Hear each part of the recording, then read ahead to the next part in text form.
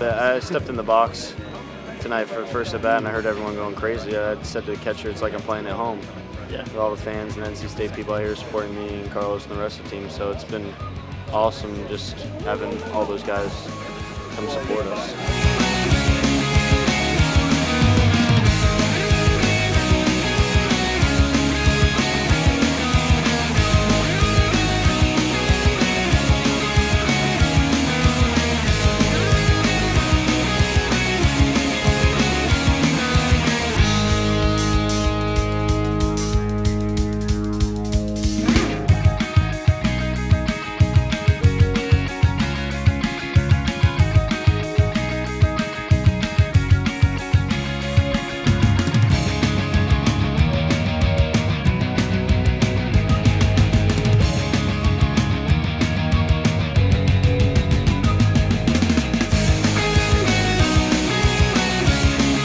Pretty unique. You know, it's it's getting me ready for, or it's getting me excited for you know the big leagues or what's to come of, you know, in the future of you know making it to that next level.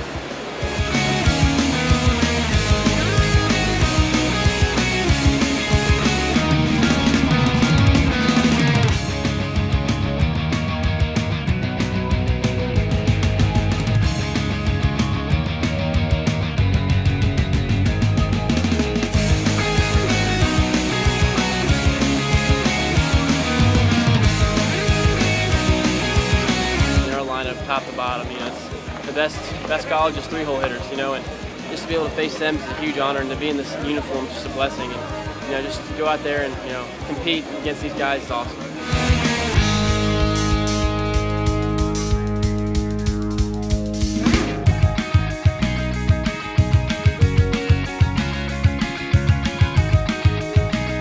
Very very talented team.